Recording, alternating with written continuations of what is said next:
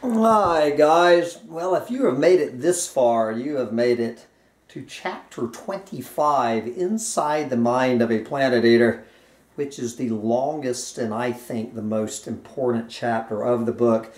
We're going to have to divide this long chapter up into three parts. Kicking off part number one of Inside the Mind of a Planet Eater, we're going to start as I do quite often with this quote from this book that I was reading while I was down there, The Handbook for the New Paradigm. quote, it is difficult to consider that those who focus evil into recognition are of service to the planetary whole.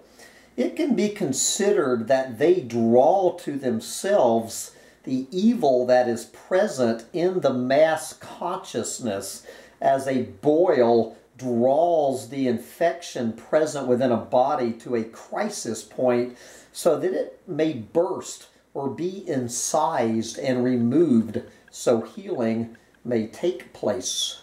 So we are going to uh, head back to Salvacion, Peru, and this story is spread out from July 13th to July 22nd, 2009, and we're going to start on July 13th with a hambone disclosure, disclaimer.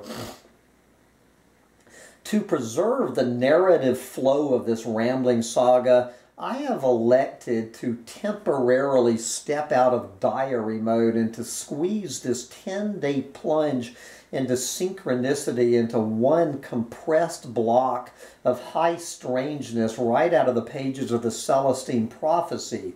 As part of this exercise in journalistic license, I have taken the liberty of cutting and pasting disparate and disjointed conversations held over several days into more cohesive blocks.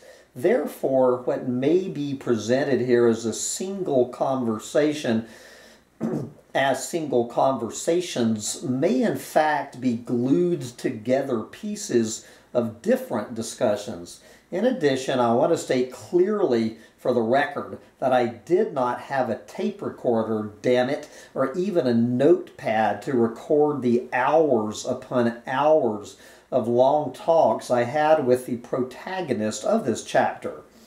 Therefore, any direct quotes I have attributed to him come from my memory, recorded at least twice per day, and so may not be 100% accurate, though I have diligently attempted to quote him correctly. Despite what this chapter may sound like, my choices of quotes and scenes are not some below the belt attempt to take a Michael Moorish cheap shot at anyone, but are an honest attempt on my part to interpret the flavor and explain the worldview of someone whose worldview is the total antithesis of mine. Finally, after much soul searching and hand wringing, I have chosen to change the real name of my main character to Moose Mulligan because he really is a nice guy and I really don't want to see him shit canned by the bastards above him at Hunt Oil Company. Really, I swear. So, we're going to dive into it. When Joaquin Rivers in spirit whispered to me that it was time to pack up my bag of cannonballs and move my freeloading invisible ass out of my long-term home at Manu Learning Center, I truly had no clue what adventure awaited me next. Beyond some hazy, half-baked notion of traipsing, traipsing off into the jungle in search of some lost Inca ruins, some three weeks off into a distant, uncertain future. As I stepped off the bus in downtown Salvacion, Peru on that drizzly Monday morning, I was living in the moment and being here now in every sense of those two bliss nitty terms. Wise, wisely, I turned my life over to spirit, to lead me to my next destination. As mentioned in the previous chapter, Spirit had directed me to Salvacion's finest hotel, the Shayla, where I elected to move into room number 10, the upstairs corner room in the budget wing of the guest house. Less than five minutes after arriving at the Shayla, I, find, I found myself milling around aimlessly in the hotel courtyard waiting for eight young bio garden volunteers to gather. I just so happened to find myself standing in front of the open door to room number one, the downstairs corner room directly below mine. Being the voyeuristic type, as you know all too well by now, I did what any nosy, quasi peeping Tom would do when presented with an open hotel door. I peeked inside, and when I did, I just about fell over backward in disbelief at the unbelievable synchronicity and ironclad proof of the negative law of attraction that I was looking at. There, barely 10 feet in front of me, spread across the back wall of the room like the pelt of some murdered spotted jungle cat, was a six foot by four foot wall map dated July 10th showing the 300 miles of proposed seismic testing lines where more than 12,000 explosives would soon be detonated, crisscrossing the million acre, pristine Peruvian Amazon wilderness of the Maracari Com Communal Reserve. That's right, my very room in a hotel I had never planned to see again in my life was perched directly atop the command post ground zero of my evil nemesis, the planet eating Hunt Oil Company. I could hear Spirit and the universe pissing in their pants, laughing, high fiving each other over this colossal cosmic practical joke they had just pulled on me. Or was the joke on Hunt Oil? I'm not so sure to use trite words like stunned or flabbergasted to describe my reaction to finding myself staring down the throat of the tiger itself would be an insult to the dazzled emotions I was experiencing. In my deepest, darkest, doom and gloomy ham-bone imagination, I had enjoyed some brief, fleeting fantasies of one day stumbling upon the object of my deepest negative desires, but I had always spit the fanciful images back into the universe as being even less attainable than tracking down some hidden vine-covered ancient Inca ruins in a million-acre jungle for a myriad of reasons.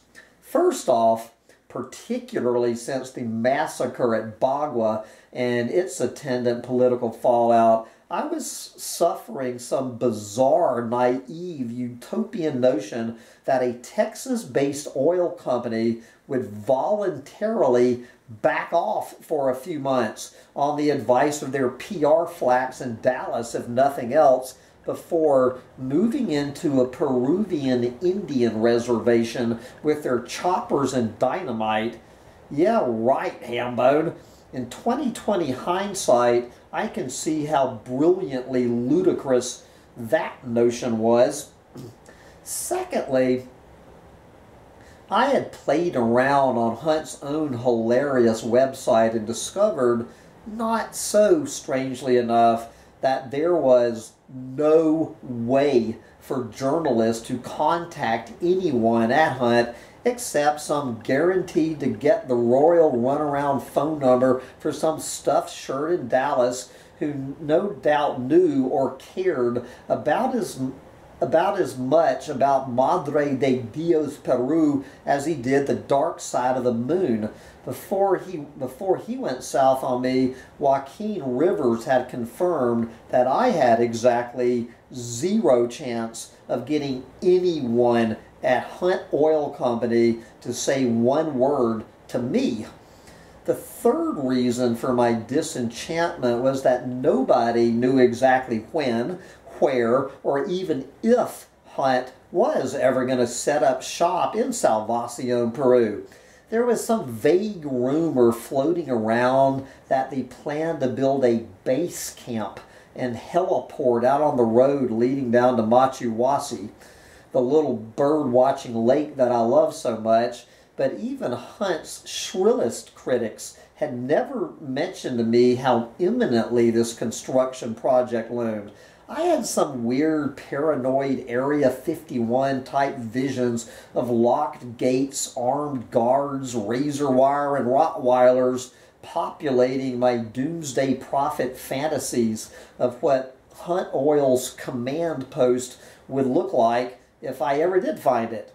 And the final clincher for the abandonment of my journalistic fantasies of ever getting inside the mind of Hunt Oil was that on the hair thin chance that I ever did stumble upon a real live petrolero, Spanish for oil worker, I would not be able to understand a goddamn word he said for the simple reason that Hunt, in a classic and predictable move to distance themselves from any potential screw ups in this dicey operation, had, quote, contracted out the seismic testing job, the first phase of the operation, to an essentially Peruvian based operation calling themselves South American Explorations even if someone from that outfit was dumb enough to talk to a nosy, busybody journalist from the U.S., it would be in Spanish, and anything he said in any language would damn sure never be authorized by publicity shy Hunt Oil. Even as I stood there in dumbfounded disbelief, staring at a Hunt Oil produced wall map, complete with a Hunt Oil capped Peruvian dude standing there in front of it, I still figured that my old nemesis, the Spanish language barrier that has me so maddeningly crippled down here, was going to be my downfall once again. Unless, of course, that silver haired gringo looking dude tapping away so diligently at his computer, that guy surrounded by all that hunt oil literature all over his desk, might speak a little bit of English. Come on, universe, work with me here. With all the knock-kneed confidence of Jonah walking deliberately into the very gaping maw of the whale that would swallow him alive, I plunged across the threshold that separated a hotel courtyard in Salvation, Peru from Planet Eating Central and introduced myself to the most delightfully vexing character and genuinely nice guy that I had met since leaving the friendly folks in Texas six months earlier. Moose Mulligan, Louisiana oil man, Colorado beef man, globe-trotting geophysicist seismic man, yarn spinning raconteur par excellence, an all around regular Joe planet eater from the scorched earth depths of a dirt worshipping tree hugger's worst nightmares. I introduced myself and shook hands with the trim, handsome, middle aged environment, health, and safety liaison between Hunt Oil in Dallas and South American Explorations in Lima like I was saying hello to an insurance agent or a plumber. It would be days before I even realized that Moose walks like a planet-eating Hunt Oil Petrolero, talks like a planet-eating Hunt Oil Petrolero, Mulligan, too, surprise, surprise, was not a direct employee of Hunt Oil, but instead was the one man independent operation known as Mulligan Natural Resources, specialist in geophysical operations worldwide and western slope, whatever the hell that meant. When he stood up to shake my hand, I was somehow surprised to see that this Marlboro man, about two thirds Jimmy Stewart, one third George Clooney, was right about my height, five eight or so. So, I began breezily as we sized each other up like two roosters before a cockfight. At last, I meet the infamous Diablo that everyone around here is here so freaked out. Uh, oh, I'm sorry. So I began breezily as we sized each other up like two roosters before a cockfight. At last, I meet the infamous Diablo that has everyone around here so freaked out. Once I had translated Diablo, devil, for moose, whose Spanish is even more abysmal than mine, he waved off the comment with a self-effacing laugh that seemed genuinely nonplussed and surprised at his little seismic operation. And from his perspective, the proposed Maracari butchering really is a small potatoes operation, had any critics at all. He wanted to know just who his naysayers were. Oh, you know, a few local eco lodge owners up and down the river, the usual gringo tree hugging types you would expect, I said dismissive, dismissively, trying to get him off the defensive. Shut the fuck up and let him do all the talking from here on out, Spirit screamed at me from my left shoulder. Fortunately, my ploy worked. Moose relaxed and stated clearly for the record that his job was only, only the exploration phase of the operation, essentially tromping around the jungle to look for geophysical evidence to see if there was enough of interest there to warrant bringing in the real big guns later. It's really pretty innocuous work, he assured me. Hunt pays me good money to be wrong 85% of the time, I swallowed the impulse to say it was not that 85% I was concerned about. It was the other 15% that had dragged my ass all the way from Texas. This would be the first of about 10,000 times over the next 10 days I would choke back some erudite hambone witticism. Moose turned the tables on me and asked me what my story was. I replied honestly that I was traveling around the Peruvian Amazon for at least a year and writing a book about my adventures. I handed him my business card stating clearly that I was a journalist.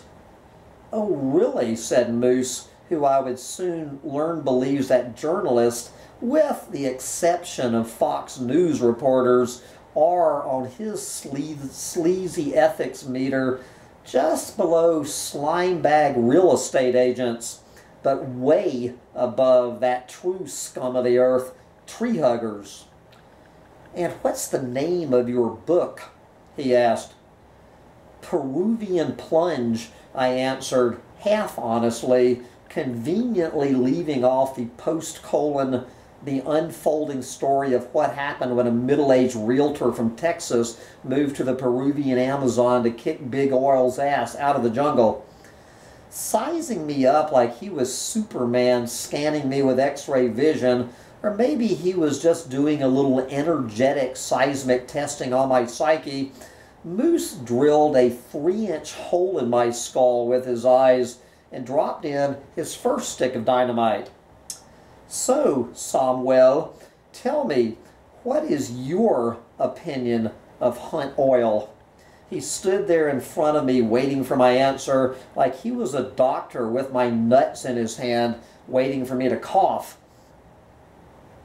I had traveled for six months, if not 36 years for this once in a lifetime golden opportunity to have a real live Amazon smashing planet eater ask me point blank to my face what I, Hambone Littletail, environmental alarmist, doomsday prophet, and chronicler of the downfall of Western civilization, thought about an evil, greedy bunch of thugs who could walk into a one million acre pristine rainforest wilderness, make that fly in with choppers to blow off 12,000 sticks of dynamite in their hell-bent search for the very blood of Gaia, my mother, goddess, and protector. If I had even begun to answer that question honestly, the flood of pent-up ham-bone psychic puke spewing out of me would have overflowed the Mother of God River and wiped salvation in the whole Maracari Reserve off Hunt Oil's wall map. Much more importantly, it would have also squandered the equally once in a lifetime golden opportunity to put into practice everything that Carlos Castaneda and Don Juan Matus had ever taught me about the art of stalking and allow me to climb inside the brain of a planet eater. There was no way I could let such a moment pass me by. With a straight face, and level voice, I looked back into the eyes of Moose Mulligan and let go with the lie that will haunt me for the rest of my life.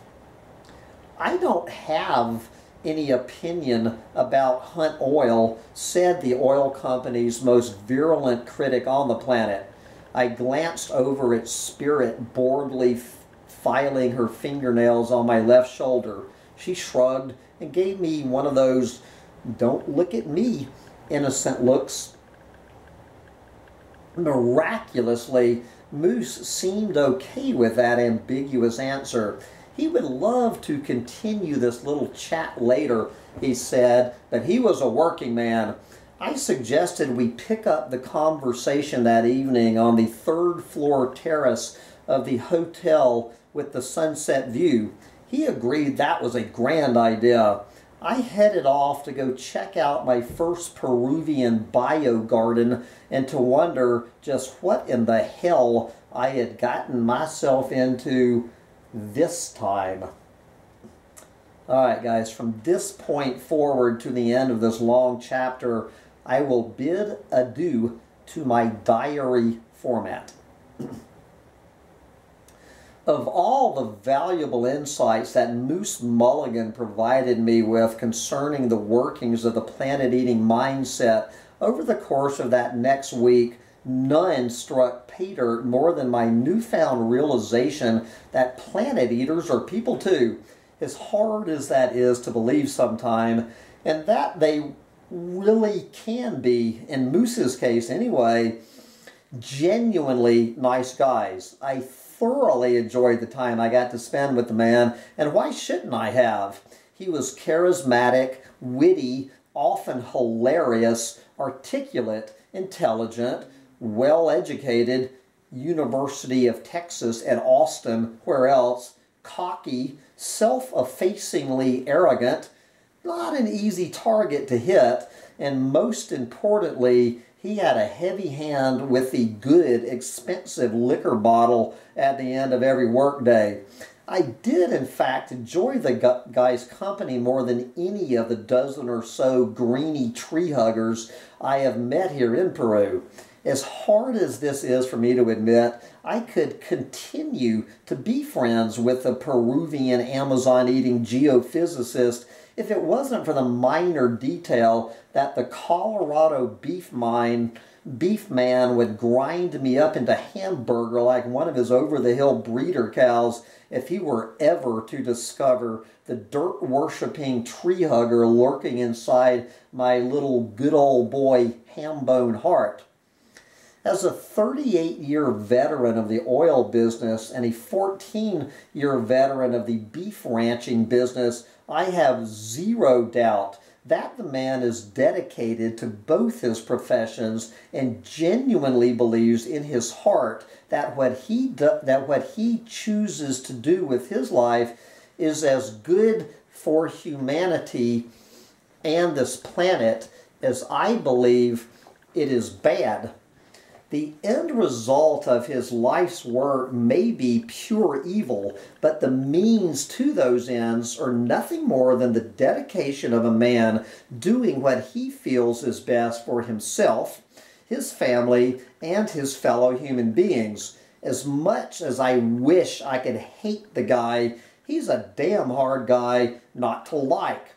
If it truly is as it appears to be a foregone conclusion that Hunt Oil, barring intervention from benign space aliens, is going to go through with its dastardly deed in the heart of the Mother of God in Salvation, Peru, I would just as soon have Moose Mulligan at the dynamite controls as anyone else. Despite what you're getting ready to read about his love affair with explosives, I can assure you that Amarakaeri could do a hell of a lot worse. On some twisted, ironic level, the man really does inspire confidence, even in a jaded tree hugger like me. Now, of course, if I could just sneak five grams of dried psilocybin mushrooms into his top shelf margarita and get him to pull his handsome silver haired head out of his ass long enough to see the light and the tragic error of his ways, we might just be able to get this planet wide revolution in consciousness out of park. Lord knows we need more men like Moose Mulligan on the tree hugger side. Of course, back here on planet reality, that'll happen about the time the Peruvian government turns Amarakaeri into a national park. When he's not hanging around with tree huggers like me or living the nightlife of Salvacion, Peru, what does Moose Mulligan do with his life as an environment, health, and safety liaison between Hunt Oil Company in Dallas and leading a Peruvian seismic crew. In four words, he looks for oil. To do this in the jungle, he and his crew hack out meter wide, he promises, arrow straight trails through the forest and a carefully laid out grid of crisscrossing lines. Imagine a one million acre fish net with 300 miles of string cast over the rainforest. This looks simple enough on a two-dimensional flat wall map hanging in Hunt's office, but if you've ever chased a herd of peccaries through the Madre de Dios rainforest with a rock-wielding Stone Age Indian, as I have, you would know that Hunt Oil is facing a Herculean task in Amarakaeri, which has the topography of a hedgehog and a creek or river flowing at the bottom of every steep jungle ravine. There's a reason that virtually nobody without wings or a prehensile tail lives in this topographically challenged, rain-soaked, impenetrable jungle even with a machete, it can take an Amazon native an hour to work his way up one little hill. Of course, petroleros, unlike Stone Age Indians, do have wings, or rather chopper blades, and as soon as Moose's crews finish carving out some 100 heliports into the virgin trackless wilderness, there will be plenty of convenient places to park their whirlybirds a one month slog through the jungle today will be a 10 minute chopper ride tomorrow. Once the trailblazers spreading out like leafcutter ants from fly camps spread throughout the reserve have penetrated this seemingly impenetrable no man's land, along will come a group of guys lugging 9 horsepower portable drills these guys will punch 50 foot deep, 3 inch wide hole, holes into the ground, one hole every 60 feet for the entire 300 mile length of the grid. Behind them, if I'm picturing this in my mind correctly, will come another line of guys laying out links of cable, each of which contains some 800 highly sensitive seismic sensors finally will come the guys with the dynamite who get to have all the fun. They will drop two to five pounds of explosives into each of the holes, fill the holes back up with dirt to preserve the integrity of the shock waves and detonate the explosives. If you were here standing 100 yards away, you wouldn't even be able to hear it, Moose assured me, though he declined to back up that statement with a demonstration of his innocuous technology. The seismic shock waves created by the 12,000 underground explosions are picked up by the sensors in the cable, which in turn transfer the echo images to portable computers. The final product, what all this fuss is about, is a whole bunch of squiggly lines, the data. If all goes smoothly in rough-skinned Amarakaeri, yeah, right, Moose estimates it should take about four months to cover an area the size of Yellowstone National Park with these little squiggly lines. If the rains cooperate, as you can tell, there are a whole lot of ifs in Moose's line of work. He would love to be back home in Colorado with his wife and kids and 600 cows for Thanksgiving. No chance. Once the data has been charted, Moose and his eagle-eyed geophysicist colleagues are on the lookout for signs of underground peaks or humps in the squiggly lines that could indicate where oil or gas, which rise because they're lighter than water, which in turn sinks into valleys on the graph, might be found if any areas in Amarakaeri are found to be especially promising, i.e. full of peaks and humps, the petroleros will be back in a couple of years to punch a couple of test wells into those areas. And if any of those test wells produce commercially viable quantities of oil or gas, and obviously Hunt believes they will, or they wouldn't be spending this kind of cash, then the real party begins in about five years, and you can kiss goodbye to yet another million acres of rainforest wilderness on this planet. Boiling down the innocuous job of the seismic crews, Moose referred to his team as the head of the snake. Surprisingly, Hunt is not the first snake to slither into the backwoods of Amarakaeri. About a decade ago, Mobil Oil did a little poking around in the neighborhood, literally, but bailed after not finding enough of interest to warrant the monumental effort it would take financially, politically, and logistically to go in and get it. If that oil giant has given the thumbs down to Amarakaeri, why then is Hunt so hell-bent on going back in? Well, for a couple of reasons. First, as Moose was happy to show me on an old geologic survey map in his office directly below my bed, he believes Mobil literally missed the mark with their ancient 10-year-old seismic technology whipping out a map showing the position of that test well superimposed over a rough preliminary map of squiggly lines, even yours truly, with 30 seconds of experience as a planet-eating geophysicist, could plainly see that Mobil's drill bit had landed in a valley and missed the hump.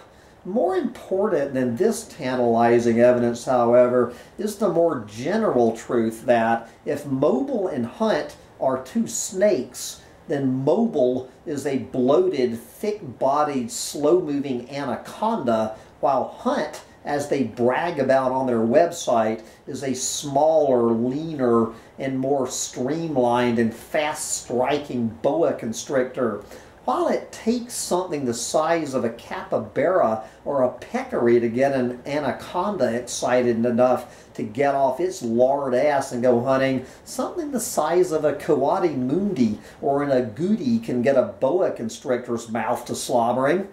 In short, then, Moose Mulligan is the tongue of a boa constrictor, flicking in and out of 12,000 holes as he and his crews slither their way systematically along 300 miles of trails through the jungle.